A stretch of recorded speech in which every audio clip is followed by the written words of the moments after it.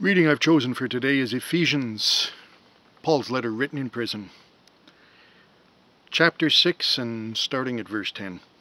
We'll go to 20. Finally, be strong in the Lord and in the strength of his might. Put on the whole armour of God, that you may be able to stand against the wiles of the devil.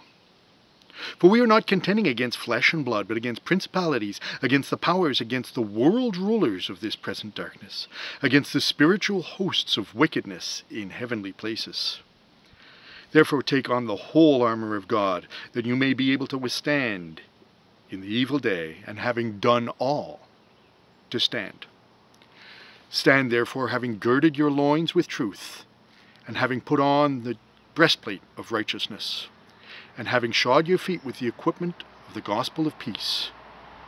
Above all, taking the shield of faith, with which you can quench all the flaming darts of the evil one. Take the helmet of salvation and the sword of the Spirit, which is the word of God. Pray at all times in the Spirit, with all prayer and supplication.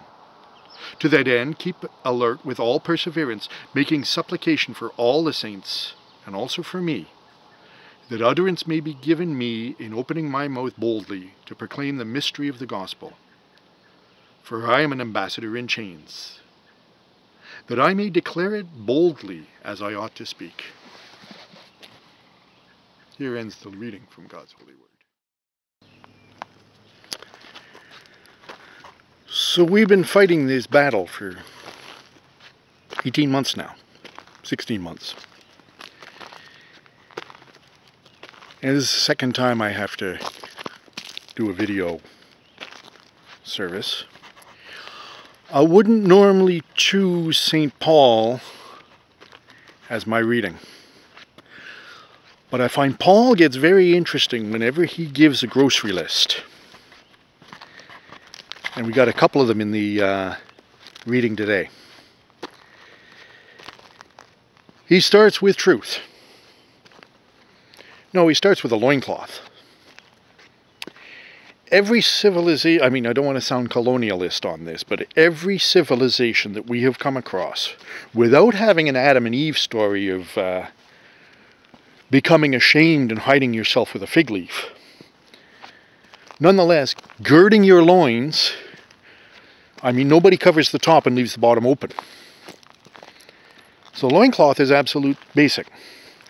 And the truth is absolute basic. Now, the truth is my truth and your truth.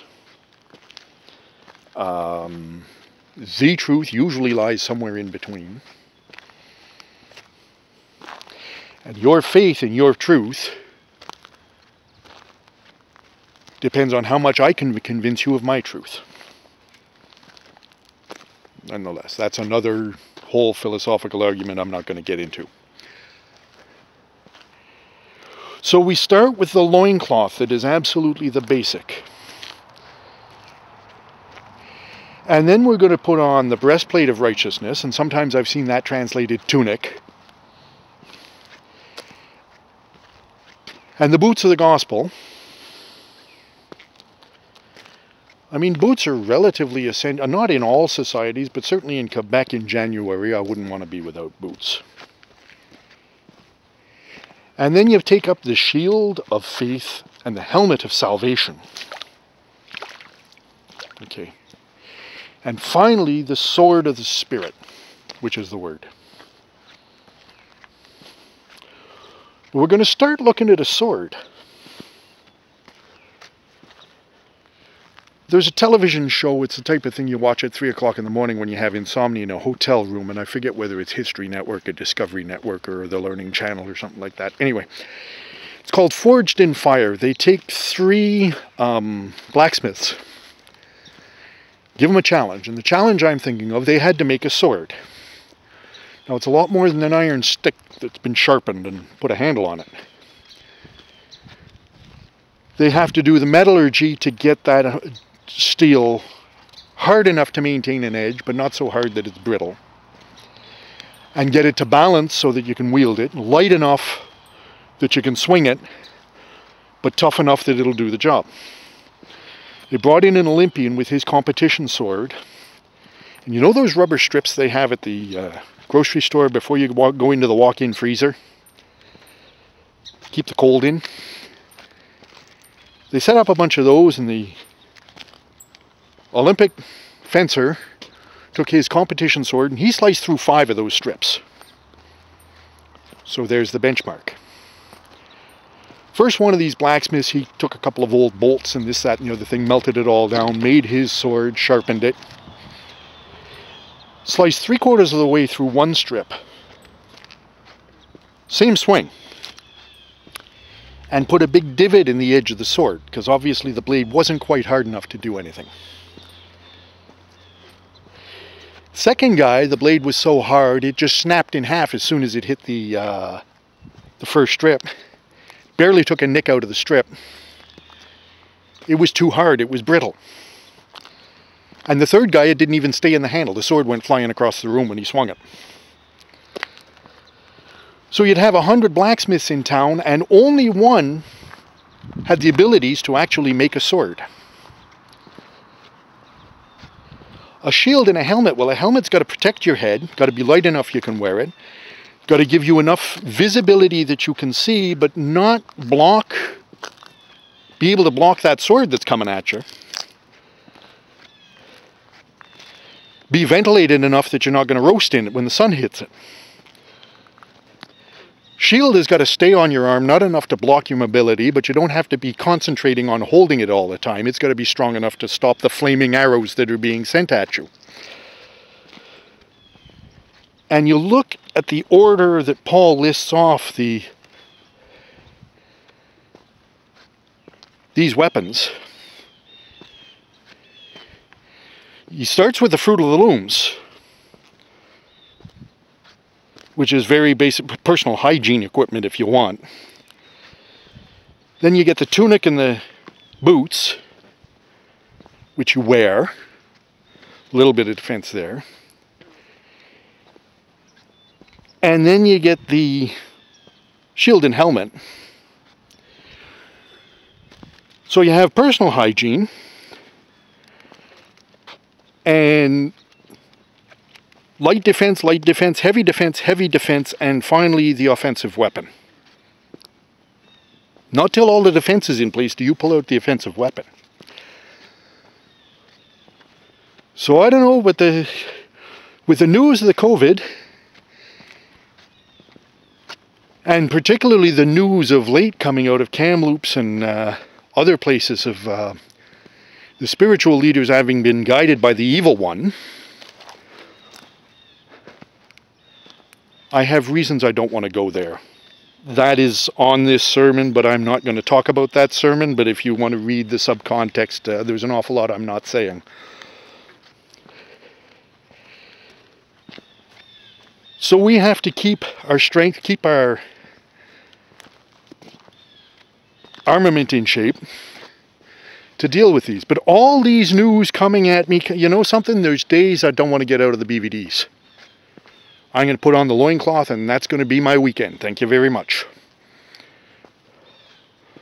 All right, fine.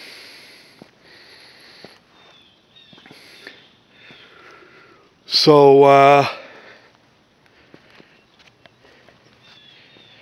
and doing the battle, who'd have thought that the internet connection and Zoom and all these things would be as big as they are since COVID happened. Personal choice, I haven't gone in there because I also know myself with an internet connection, I'd spend five hours a night watching cat videos. My shield and helmet have been a ukulele and work in the shop. And I know others that will settle with a book or do some needlepoint or whatever happens to be the maintain the faith and maintain your salvation maintain your sanity, which is more than just curling up in the BVDs.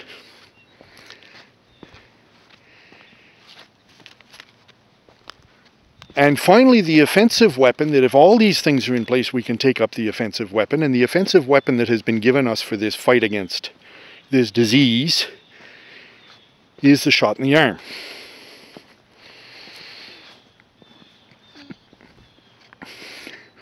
Wielding a sword also is not the easiest. Uh,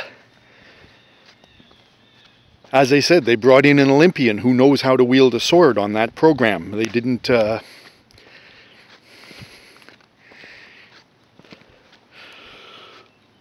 Another reference I want to drop. This technology would have been just about the highest that people in Ephesus would see.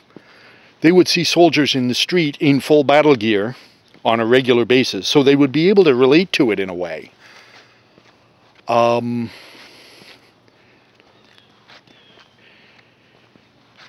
would be the highest technology they would see. And throughout history, leading edges of technology have been military. There's a there's a book by a couple by the name of Giles or Giles, I'm not sure. It's been a while since I've seen the book, but it's called Cathedral, Forge, and Water Wheel. It speaks of the Industrial Revolution up until 1761 which is an interesting date they chose because the Industrial Revolution started, the official Industrial Revolution started in 1762 when James Watt invented the steam engine. They talk about all the machinery and everything else. Now, until the steam engine came along, your machine was powered by hand. You had a dog running in a wheel to power something. You had a water wheel. Sometimes you had a water wheel, sometimes you had a windmill. You were lucky if you had those. Or you would have to turn the hand crank. So Cathedral Forge and Water Wheel, the most impressive building for centuries, was the cathedral. Would have been true in Ephesus. Would have been true, I mean, the pyramids were built towards the worship of God. The um, the loom was a very impressive piece of machinery. In the 1500s, they were finding looms that had nine combs in them, so they were making very complex materials with this machine. And the machine, of course, gets more complex to make them. And um, an early episode of The Nature of Things was called uh, Voices in the Wind. It spoke of the uh, pipe organ, which would be in the cathedral and was pre-industrial, pre-modern industrial revolution, if you will. And it was the most complex machine known to man. I mean, a piano's got 88 keys. It's got 88 mechanisms to uh, strike each key. pipe organ, let's say a standard keyboard, an 88 key keyboard, but each key can control any of five or 10 pipes, so multiply that, that it's got to do the same thing. It's, a, it's an amazing piece of machinery. Towards the worship of God. The loom is making art. And the trebuchet, of course, is a military piece of it. So the leading edge of technology all the way across is in arts, it's in worship, it's in military. Paul happened to choose, mil well, he had experience with military. He was in the prison. But it was something that the people could relate to.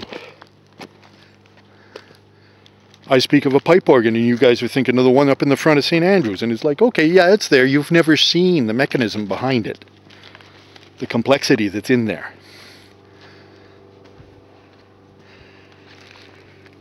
So he takes your grocery list from the simplest, your fruit of the looms, which is truth.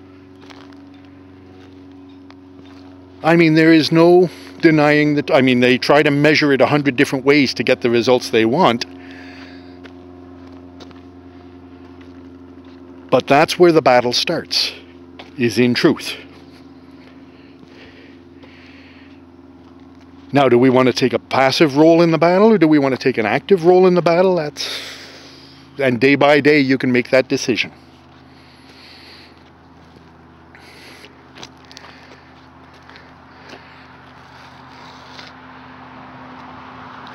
But the uh,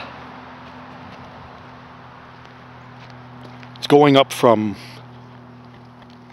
personal care, defensive, defensive, defensive. Make sure you're well defended before you start swinging the offensive. But if you're going to win the bet, is it win, lose, or draw? You're going to win the battle, you got to take the offensive weapon at some point. Amen.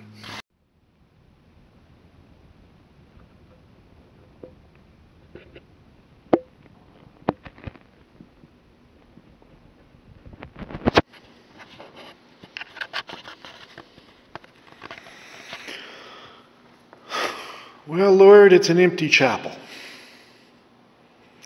You promised us wherever two or three are gathered in your name, you will be there also. Well, we're starting to feel it, Lord, that we've been 16 months that we haven't been able to gather in your name. We get together over Zoom and telephone calls and that type of thing. And uh, we try to pray, we try to be close to your people, to your will. But Lord, it's a long and hard road.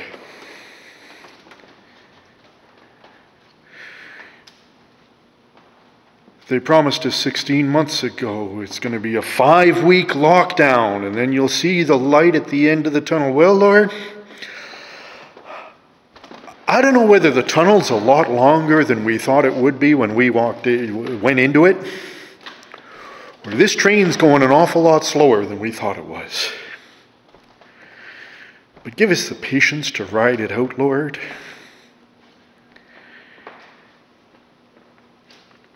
Help us to feel your presence in the truth and the gospel and the Spirit. And Lord, things are getting rather hot down here. And a lot hotter out in British Columbia, where uh, seems the world is on fire. Seems there are many, Lord, that don't admit that in some ways we've caused that fire. Be with those that have lost their homes. And that's the animals that have lost their homes, and the people of Lytton and other places that have lost their homes. And Lord, there's more news out of BC that uh, we need the armor against. And that is the lie that some who claim you, who claim to be representing you, have finally been caught in that lie. Something that our native peoples have been crying about for 80 years in these schools. And they found 215 and they found 751, and we're up over 2,000, and there's a lot more to come, Lord. There's a lot more to come. And for these people that survive this,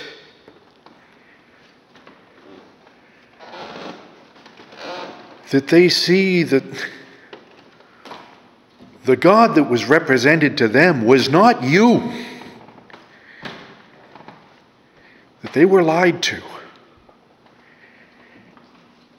And there's a lot that would say forgive and forget. Well, forgiveness is awful, awful dependent. I'll forgive you for wronging me if you stop wronging me.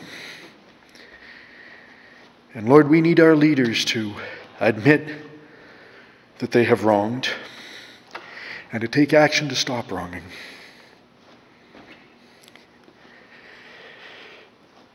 And in that, we also need to trust our leaders as they tell us that we are getting to the end of the tunnel.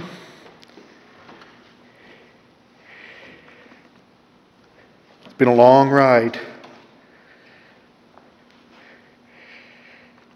And uh, it's not over yet. We're getting there. But it's a lot less than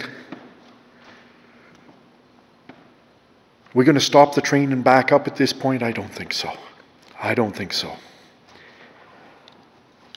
We just have to keep on going and hold on to our truth and our gospel and our faith and pull out that sword of the Spirit to help us carry on, Lord. Be with us. And as we say every Sunday, well, as we say every day, Thy will be done. Help me do Thy will. Amen.